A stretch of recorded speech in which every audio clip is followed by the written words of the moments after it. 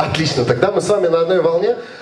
Ну и, соответственно, мы продолжаем, так сказать, квартет вокального ансамбля «Вдохновение».